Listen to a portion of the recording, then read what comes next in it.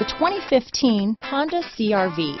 CRV, a top recommended vehicle because of its car-like driving manners, good value, cool technology, and comfy interior. This vehicle has less than 45,000 miles.